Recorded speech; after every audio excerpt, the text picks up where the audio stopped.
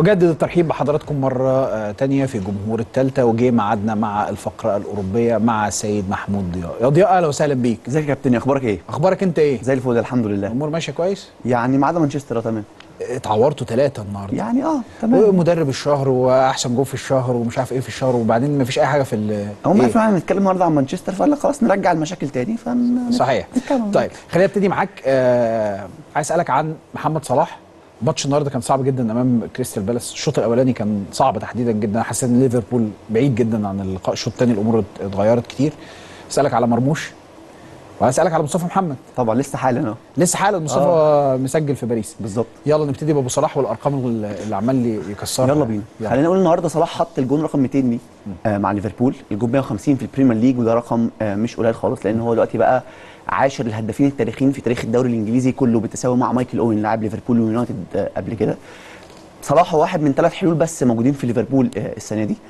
آه، ما بين صلاح ما بين الشوت من بعيد ما بين الكور الثابتة. لكن حتى هجوم ليفربول زمان كان في ماني زمان في فيرمينو بيسند لكن دلوقتي نونيز بيضيع فرص كتير جدا لويس دياز أغلب الوقت معزول ومش موجود. صحيح. وبالتالي فصلاح هو واحد من أهم الحلول اللي موجودة.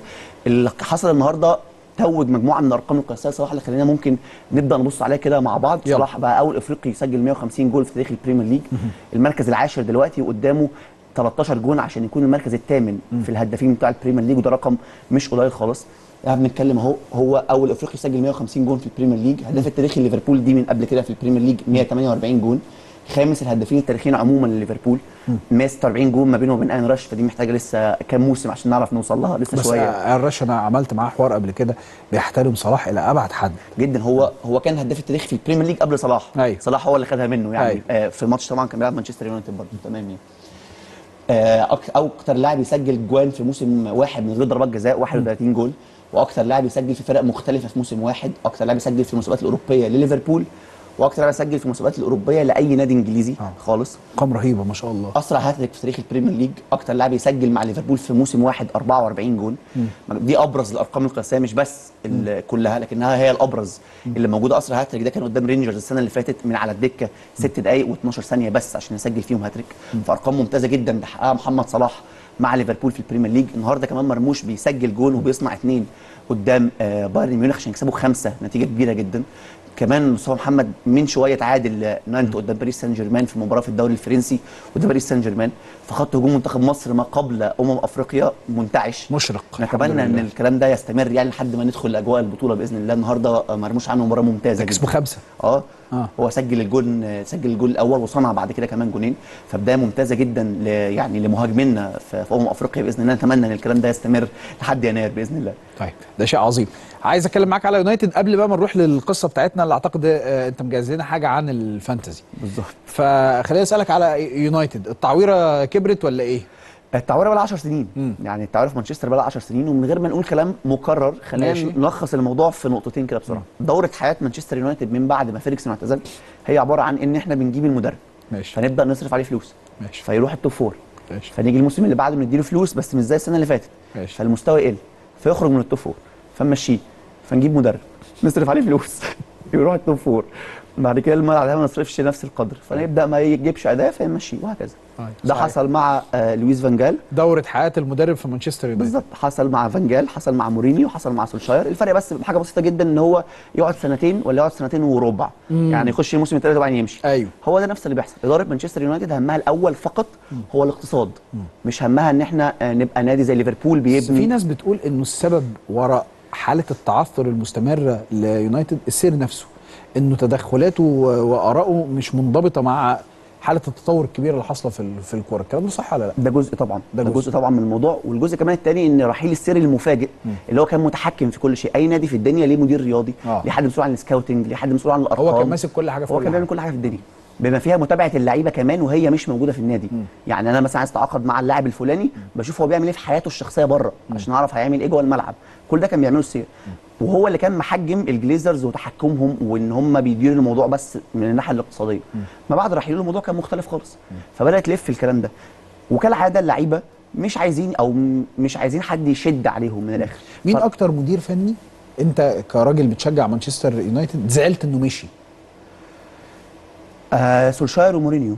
سولشاير. لأنه من أساطير النادي. ماشي. كان بدأ يحاول يعمل حاجة ولكنه للأسف مدرب مش كبير قليل. مورينيو هو مورينيو طبعا. ولكن ما بعد مؤتمر الإرث الشهير ما بعد آه. الخروج من دوري الأبطال الموضوع ال curve نزل وبعدين مشي. لعيبة مانشستر معتادة إنها تتراخى. يعني لو جبنا كده الصور الخمس صور اللي جايين دول ورا بعض هتلاقي. إن لعيبة مانشستر مع كل مدرب بيطلع أخبار في الصحافة إن المدرب الفلاني خسر أوضة اللبس. اللعيبة ما بقتش عايزة المدرب. حصل مع كل المدربين. آه ده اتفاق بقى. هتلاقي حصل مع ديفيد مويس. حصل مع لويس فانجال حصل مع مورينيو حصل مع سولشاير حصل مع رالف رانجنيك حتى آه، المدرب المؤقت. آه، أهو- أهو ده, آه كده ديفيد مويس مثلا. آه. الخبر ده في 2014 أيوه. الصورة اللي بعدها فانجال في 2015 الصورة اللي بعدها مورينيو في 2018 الصورة اللي بعدها سولشاير في 2020 أو 2021 أيوه. بعدها رانجنيك حتى المدرب كلهم بنفس التعبير تخيل. برافو عليك. هي هي. آه. ودلوقتي كمان مع تنهاج حصلت مع تنهاج اتقالت وبعدين تنهاج طلع قال إن ده كلام صحافة وإحنا هنرد في الملعب وبتاع ما بعد ما فوز على تشيلسي. فخسرنا الماتش اللي بعده قدام بورنموث. فده شيء مكرر. المشكلة في مانشستر هي هي بتحصل فعلا بقى لها 10 سنين. يعني لو بصينا كده على tweet اتكتبت زي النهارده من 10 سنين قالها. ديفيد مويس المدرب. ماشي. هتلاقيه بيقول إيه؟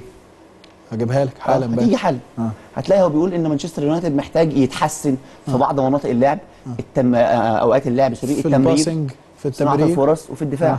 آه. لو جينا نقول لك في وقت فانجال هنلاقي مانشستر محتاج يحسن في صناعة الفرص وفي التمرير وفي الدفاع. لحد النهارده مانشستر محتاج يحسن في صناعة الفرص وفي التمرير وفي الدفاع. صحيح. يونايتد غير مدربين كتير غير لعيبة كتير غير كل حاجة ولكنه محتاج يغير إدارته اولا ويبقى عبارة عن نادي كرة قدم زي البني آدمين ليه مدير رياضي ليه حد بيتحكم. في دلوقتي ناس موجودة بالأسماء. جون بورتو دارين فليتشر وغيرهم ولكنهم فعليا على أرض الواقع مش موجودين. الأمل كان موجود من كام شهر في بيع النادي للمستثمرين القطريين وبعدها تبدأ رحلة جديدة. ده ما بقاش موجود. في كلام عن استحواذ جيم راتكليف اللي هو مالك نادي نيس على 30% ويبقى مسؤول عن الجانب الرياضي. ده قد لا يكون شيء مثالي ولكنه ممكن يكون مؤثر للأمام بنسبة ولو بسيطة. طيب إيه هوس العالم كله دلوقتي ناحية الفانتزي؟ آه هوس كبير جدا. الفانتزي تحديدا أكتر حاجة الناس رايحة لها في الدوري الإنجليزي. لو أنا فاهم صح يعني. دي حقيقة. الناس حاولت تطبق ده يمكن على الدوري المصري بس في صعوبات علشان مواعيد ال- المباريات والحاجات اللي شبه كده. بس خليني أسألك على الفانتزي في الدوري الإنجليزي وحالة ال ال النهم اللي بقت موجودة في كل حتة في العالم وتحديدا في مصر. الناس في مصر بقت مجنونة آه، بال Fantasy. بص يا كابتن ال Fantasy هي حاجة أنت حابب تتوقع شيء. فتشوف هتاخد منه إيه. مم. فلما تاخد توقع حاجة وتحصل ده بيديك نشوه فأنا عايز أجرب تاني تعالى. ماشي. فهي من الآخر ببساطه آه. هي رهان حلال. ماشي. بعيدا عن الرهان الحرام ربنا يبعدنا عنها آه. جميعا يعني بس ده رهان حلال. أنا دلوقتي توقعت إن كابتن إبراهيم فايق الماتش الجاي يجيب هاتريك. مم. جاب هاتريك. أنا كده في السما خلاص. خدت شوية نقط. بس آه. في النهايه هو منافسة مع أصحابك آه. منافسة مع الناس اللي حواليك. آه. خلينا نقول كده سريعا إن ال Fantasy أصلا لما بدأت ما بدأتش في الكورة خالص. بدأت في كرة القدم الأمريكية في الستينات. والله. آه يعني هتلاقي واحد اسمه بيل وينكنباخ ده عمل الموضوع ده وهو بيتسلى. مع ناس صحابه فقال لك أعمل منافسة ما بيني وبين ناس صحابي هو الراجل ده؟ هو الراجل الطيب ده. آه. في سنة 63 مم. وهتلاقي بعدها ده أول draft موجود الصورة اللي بعدها أول draft لحاجة Fantasy كانوا بينافسوا بعض سبعة ثمانية كده مثلا.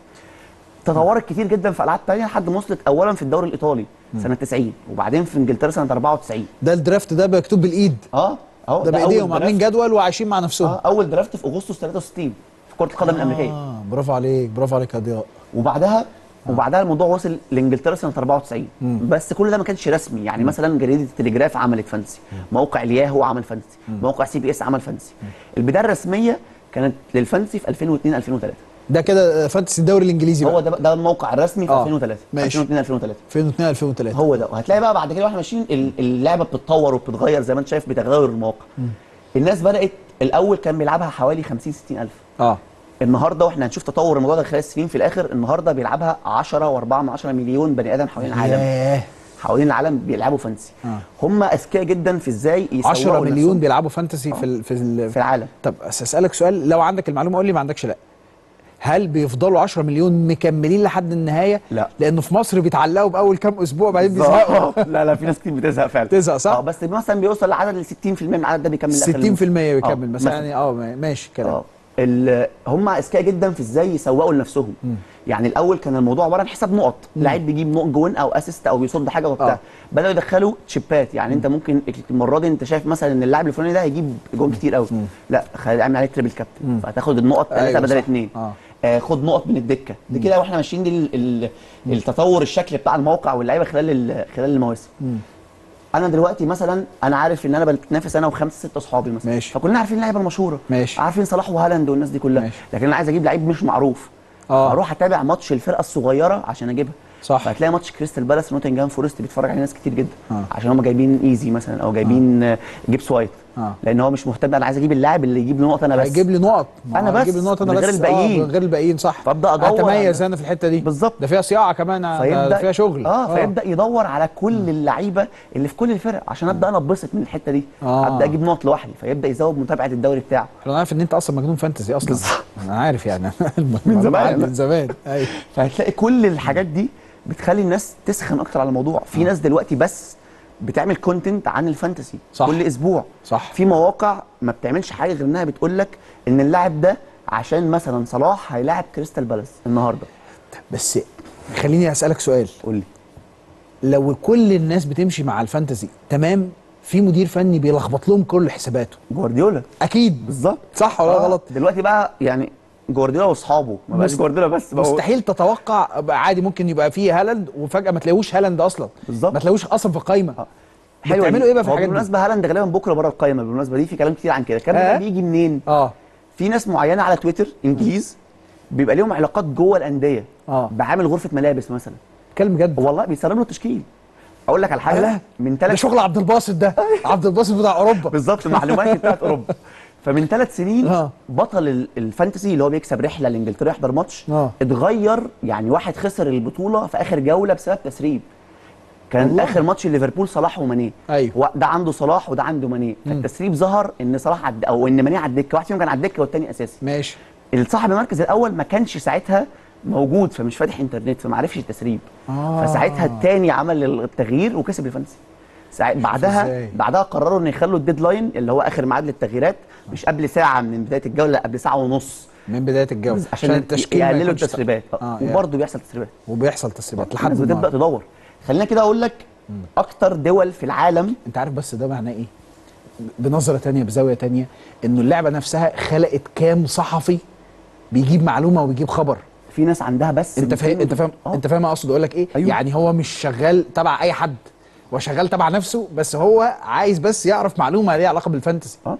فخلقت جو من الصحافة عشان كده دايما يقول لك إيه ما بقاش الانفراد في التلفزيون بقى صعب بالظبط لأن في. ده على طول خلاص في عفاريت شغالين. أصلا لمصلحتهم لحاجات تانية لأغراض تانية خالص يعني عايز أقول لك إن في accounts على تويتر معروفة جدا آه. فلان بيسرب تشكيل السيتي فلان بيسرب تشكيل ليفربول والله العظيم. والله في كذا عنده علاقات. فبي- آه. بالظبط عارف حد في ال- في النادي فهو بيقول له التشكيل أو فلان ما بيقولوش تشكيل يقول له مثلا إن فلان وفلان دول اساسيين النهارده آه. فهو يقول دي بس الموضوع انتهى على كده ده شغل جامد تعالى اوريك كده. أكتر يلا. 10 دول في العالم بيلعبوا Fantasy بالمناسبة مصر هي المركز الثاني ياه. العالم في عدد اكونتات ال Fantasy اللي موجودة في في اللعبة إحنا رقم اتنين على العالم بعد انجلترا اللي هي الدوري بتاعهم يعني كلام بجد وفي دولتين افريقيتين تانيين ودولة عربية كمان موجودة. يلا تعالى ناخدهم كده. أول 10 يلا.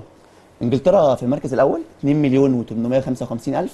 مصر في المركز الثاني إحنا مجانين كورة برضه خد بالك. مجانين والله العظيم. إحنا شعب بيموت في الكورة زي عينيه يعني. وبعدين بنحب أي لعب وتنافس. آه في أي حاجة تنافسية عايز بنحبها لك في ناس بتعمل بطولات مجمعة لل Fantasy يعني تيجي أنت وأربعة أصحابك تعملوا account بنفس الاسم وتلعبوا. المركز الثالث نيجيريا. أيوه. نيجيريا. يا. الرابع أمريكا.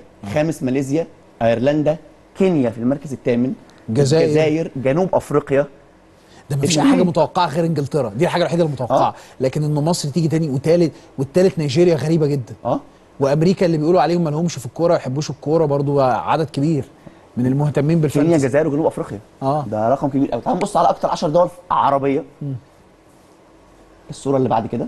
هنجيبها لك دلوقتي حالا. أكتر 10 دول عربية. عربية بيلعبوا ماشي. يبقى إحنا أكيد إحنا نبقى رقم واحد بالظبط. إحنا واحد والجزائر اثنين والجزائر اتنين. والجزائر اثنين ماشي. السعودية العراق المغرب تونس الإمارات. لا بس انت واخد بالك الرقم المصري عامل إزاي؟ إحنا مقربين للمليون. مصر أعلى من ال... يعني مصر أعتقد مصر هي 44% من العرب. بالظبط كده. آه. يعني انت لو آه، حسبة بسيطة كده هتلاقي إن مصر واخدة الكوتا الأكبر أصلا آه. بعدد كل الدول العربية اللي بتلعب إحنا ممكن نبقى أكتر من التسعة اللي تحتنا أصلا. آه بالظبط كده. آه, آه الرقم بحسبه بسيطة. الرقم بعيد قوي قوي قوي آه. آخر حاجة عايز اوريها لك. تطور عدد لعيبة ال fantasy خلال. السنين. يلا. أول سنة دي 2002 2003 ده تطور اللعيبة دي. بالترتيب كده لحد ما وصلنا السنة اللي فاتت أعلى رقم وصل 11 4 يعني إيه تطور لعيب ال fantasy مش فاهم؟ يعني كل سنة كام واحد بيلعبها؟ كام account آه، الناس اللي بتلعب. آه، بالظبط آه، آه. كام account fantasy موجودين. النسبة دي كده بالمليون. أعلى رقم كان 11 و4 من 10 مليون.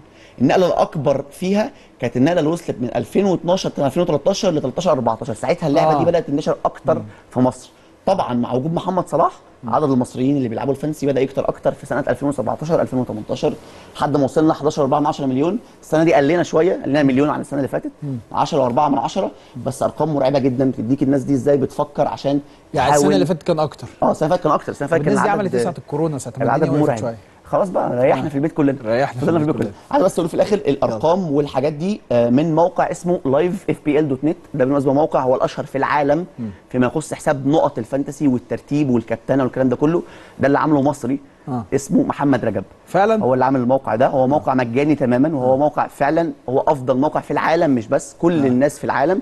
بتستنى الموقع ده. انت لعيب fantasy بقى فعارف. بالظبط. الأرقام ال- ال- ال graphics دي عملتها لي إيناس شريف واحدة من أشهر الناس في ال social media في مصر ودايما موجودة معايا وبتساعدني اشكرها يعني. طبعا اشكرها آه. طبعا شكرا ف... جزيلا فبس ده الموضوع. محمد رجب فعلا بيعمل مجهود عظيم ناس مهووسة بال fantasy عايز أقول لك إن لما الموقع الرسمي بيقع ما بيبقاش زي تأثير إن الموقع بتاع Live FPL ده إن هو يقع. الناس بتستنى تدور على ترتيبها. وبتعمل إيه وبتسوي إيه. الحوار معاك ممتع. هروح لفاصل وبعدين نرجع نكمل كلامنا يلا بينا. يلا بينا. خلينا نروح لفاصل وبعد الفاصل نرجع نكمل كلامنا مع حضرتك.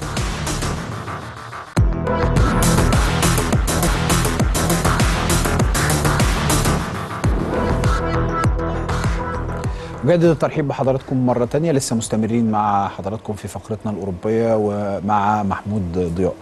ده خليني أسألك بقى عن آه وإحنا في السبت العظيم إنجاز التعبير النهارده كان في ماتشات كتير بتتلعب آه زي ما كنا بنتكلم في البداية والصراع في الدوري الإنجليزي. شايفه من وجهة نظرك هيروح لمين؟ هيتحسم لمين؟ ولا لسه بدري؟ صعب. هو لسه بدري بس إحنا السنة دي عندنا ثلاث مرشحين بيتنافسوا مش ماشي. واحد ولا اثنين زي كل سنة. في ثلاثة بيتنافسوا ليفربول وسيتي وأرسنال ومعاهم بشكل مفاجئ لحد دلوقتي أستون فيلا. اللي على الورق آخر ثلاث أيام كسب أرسنال كسب مانشستر سيتي هو ثالث الدوري ماشي. دلوقتي. ماشي. فعنده كل الحاجات اللي تخليه دلوقتي آه أنا موجود دلوقتي ومنافس. مش هيكمل ما أعتقدش نكمل للآخر ولكنه حتى الآن آه عامل مفاجأة كبيرة جدا. كل فرقة من ثلاث فرق ليه في ثلاث فرق بتتنافس أو متوقع إنها تتنافس لقدام؟ لأن الثلاث فرق مش كاملين مفيش حد فيهم هو ال- اللي بيلمع. أنت شايف إن هو ده اللي موجود والباقي بيجري وراه. لا هم الثلاثة قريبين من بعض جدا. الأسبوع اللي فات سيتي اتغلب آه، من آه، من أستون فيلا الجولة اللي فاتت. أيوه. أربع ماتشات على التوالي سيتي ما بيكسبش. فعشان كده سيتي هتلاقيه المركز الرابع. آه، امبارح مش غريبة شوية. الفرقة اللي عملت كل حاجة السنة اللي فاتت ونفست لحد الرمق الأخير وأخدت دوري أبطال أوروبا وأخدت الدوري الإنجليزي مش غريبة البداية اللي مش أحسن حاجة دي؟ الموضوع ده في رأيي ليه أكتر من سبب. آه. أول حاجة دي بروين وغياب دي بروين فارق جدا حتى وإن كان هو مش دايما بيبقى في أعلى مستوياته بس هو دايما بيدي عنصر خبرة بيعرف في لقطة ممكن يودي هالاند انفراد يجيب جون يفتح ماتش. ودي حاجة مفتقدها جدا هالاند السنة دي لأن اللعيبة مش كلها بتساعده في حتة اللعب المباشر. لما أنا أجري تشوفني فتروح رامي لي الكوره هروح أنا انفرد بالجون. الحاجة الثانية إن الفكرة اللي دايما كل سنة بيب جوارديولا بيطبق يحاول يطبق فكرة. الفكرة اللي بيحاول يطبقها دي بتاخد وقت شوية على ما تبدأ تستوي. عشان كده هو بتلاقيه في فبراير أو في يناير لما كل فرقة بتبدأ تتعب من تلاحم الماتشات هو بيبدأ يكون ياخد ال run بتاعة ال 10 15 ماتش متتاليين على التوالي مكسب أيوة. وساعتها بيبدأ يفرق آه، بكل حاجة. ولكن في حاجات دلوقتي في سيتي ما زالت هي مشكلة ومش ده بس ال- اللي ممكن يبقى ليها أو هي الحاجة اللي تخلي سيتي دلوقتي نقول إن هو مش منافس لا هو سيتي شوية وبيرجع تاني. اولا غيابات رودري رودري غاب ثلاث أربع ماتشات عن السيتي اتغلبوا من ولفرهامبتون اتغلبوا من أرسنال اتغلبوا كمان من آه من أستون فيلا آخر ماتش. فدي حاجة مش سهلة خالص غياب رودري وملوش بديل. دي أول حاجة. الحاجة الثانية كمان إن سيتي حتى وإن كان دفاعه ما بيجيش عليه فرص كتيرة ولكن ممكن جدا في اي مباراه يستقبل فرصة واحدة بجون يتعادل أو يخسر الماتش. فدي مشكلة من المشاكل بتاعت سيتي. هل ده معناه إن سيتي نقدر نخرج نخرجه من الحسابات مستحيل. سيتي مع جوارديولا في أي وقت ممكن قادر يكسب 15 ماتش ورا بعض 10 ماتشات ورا بعض على التوالي. صحيح، صحيح. يقلل الفرق مع أي حد. والفرق لسه ما زال ما بعدش قوي لهذه الدرجة لسه هيلعب لوتون تاون آه، بكرة. الحاجة الثانية ليفربول. ليفربول دلوقتي هو متصدر الدوري. ماشي. هو رقم واحد حتى الآن ما بعد خسارة أرسنال من أستون فيلا النهارده. بحس إن عندهم مشاكل برضه فنيه يعني النهارده جداً. تتفرج على الشوط الأولاني آه تحس إن هم بعيد. يعني قدام كريستال بالاس بعيد. وكريستال أحسن منهم بكتير. إحنا لو رجعنا لليفربول هنلاقي إن في ست سبع ماتشات ليفربول بيخلص الشوط الأول مغلوب 1-0 بالظبط. سيء جدا. آه. الشوط الثاني بتيجي الاستفاقه اللي هي زي ما قلنا يا إما عن طريق صلاح أو شوطة من بعيد أو كرة ثابتة. ليفربول يكسب 2-1 3-1 الماتش اللي فات فولهام 4 3 بنفس الطريقة والنهاردة كمان نفس الكلام.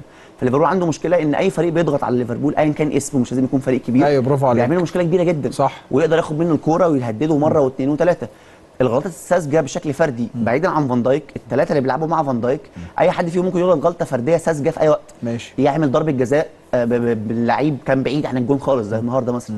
حارس المرمى الماتش اللي فات كيليهر غلط غلطة واثنين فده وارد يحصل من أي لعيب سواء جوميز أو ماتب أو كوناتي أو روبرتسون أي حد بيلعب في أرنولد كمان كلهم عندهم نفس المشكلة. الحاجة الثانية هو غياب لاعب الارتكاز الصريح. ليفربول ماكاليستر اللي بيلعب رقم ستة. هو في الأصل مش لاعب رقم ستة هو لاعب رقم ثمانية موجود عشان يلعب جنب سوبوسلاي ويبقى تحتهم لاعب ارتكاز. ماشي. ليفربول ما جابش لاعب ارتكاز حاول في كايسيدو وفشل. الحاجة الثانية هو اشترى إندو اللي موجود اللي هو اللجاد في الآخر قليل جدا أقل بكتير جدا من ليفربول ويمكن أقل من ال Premier League كله مش بس من من ليفربول. الحاجة الثالثه والأهم واللي كان معانا في نقطة صلاح هو إن الثلاثي الهجومي غصب عنك بتقارنه بصلاح ماني فيرمينو. وهو بعيد تماما عن القصة دي. صلاح بيروح لصناعة الأهداف في أوقات أكتر وهو مصدر تهديف كبير جدا لليفربول. نونيز صعب جدا جدا جدا في إن هو يسجل. بيتحرك كويس بياخد مكان كويس ولكن وقت التسجيل مصيبة. صح. بيضيع عادي ثلاث وأربع انفرادات كل ماتش. جوتا يتصاب كتير وبرضه جوتا مش ثابت على مستوى جاكبو نفس الكلام. لويس دياز معزول تماما وافتقد جدا الميزة اللي كان بيعملها السنة اللي فاتت إن هو كان بياخد الفرقة يشدها لقدام عشان يقدر يعمل بيها. خطورة. وبالتالي فليفربول لو ما عندوش الحاجات اللي هي تجليات صلاح أو شوطة من بعيد ودي حاجة يعني مش هي أساسية في الكورة أو ضربات ثابتة تسجيله هيبقى شبه مستحيل. طيب أنا بقى عايز آه تحديدا نتكلم على أرسنال. أرسنال السنة اللي فاتت كسر الدنيا وماشي متصدر وكل جماهير الأرسنال مش مصدقة إن أرسنال هياخد البطولة. والناس اللي بتتفرج على البطولة عارفة إن أرسنال في الآخر هينخ. الغريب إنه ده اللي حصل. هل السنة دي الوضع مختلف؟ هيتعلم أرسنال لأنه المشروع بقى أقوى بقى أجمد بقى بقى بقى خلاص اللعيبة وصلت إلى مرحلة أكبر أو أو أو فيها نضج أكتر من إن هم يقدروا يحافظوا على آه، فرصهم ومنافساتهم ولا لأ؟ أنا شايف إن أرسنال بقى أنضج آه من السنة اللي فاتت أكثر خبرة ولكنه افتقد عنصر المتعة. ولكن في رأيي ده مش مهم مش مهم يكون ممتع بس أرسنال محتاج دوري ما بعد غياب 20 سنة 19 سنة. محتاج الدوري ده أهم من أي متعة خالص. مشروع أرتيتا مع أرسنال بدأ ب أو كان وصل لمرحلة إن هو كان المركز الأخير في الدوري. ده حقيقي. من سنة من الموسم اللي بعد الكورونا. كان هو آخر مركز في الدوري بعد ثلاث ماتشات. اتغلب من برينتفورد وسيتي وتشيلسي ورا بعض الثلاثه استقبل خمس تجوان كمان من السيتي. وبدأ الكلام عن الإقالة. لحد ما هو قرر إن هو لأ أنا مش هلعب بأسلوبي. أنا هلعب بأسلوب آه، الموجود اللعيبة اللي موجودة. نافس على ال top four وما وصلش. السنة اللي بعدها بدأ يضيف أكتر من عنصر فيطبق أسلوبه. وصل إن هو المركز الثاني وكان متصدر. ليه كنا شايفين إن هو هينخ كلنا؟ لأن ليفربول مرتين قبل كده نفس السيناريو. فرق 8 نقط وسيتي بيشغل ال- الزمبلك يجري. الموضوع انتهى خلاص. هل تفتكر الحقني. السنة دي آه، هيحصل كده برضو؟ أنا شايف أرسنال ناضج أكتر بيعرف يقف على رجله أحسن مش ممتع وبالتالي فيمكن الفرص اللي بيروح بيها مش بنفس القوة زي قبل كده. ولكن أعتقد إن هم بيحاولوا يدوروا على مهاجم في يناير لو وصل إيفان توني مهاجم برينتفورد اللي هو موقوف دلوقتي أرسنال يبقى أحسن. أرسنال عنده فرصة في رأيي أكبر من السنة اللي فاتت لأنه بقى ثابت أكتر في الملعب وجود ديكلان رايس اللي هو في رأيي أفضل لاعب في البريمير ليج لحد دلوقتي أفضل صفقة في الدوري كمان. مديهم شخصية أكبر صحيح. جدا وساعتها أرسنال آه يقدر ينافس للنهاية. وأتصور لو في مهاجم ممكن أرسنال يكون بطل الدوري في النهاية. ضياء شرفتني ونورتني بشكرك شكرا. جزيلا. واستمتعنا جدا جدا بيك وبالشغل بتاع النهارده بشكرك شكرا. جزيلا شكراً جداً. إحنا لسه مستمرين مع حضراتكم في جمهور الثالثه بعد الفاصل ناقدنا الرياضي الكبير أستاذ حسن المستكاوي فخليكم معنا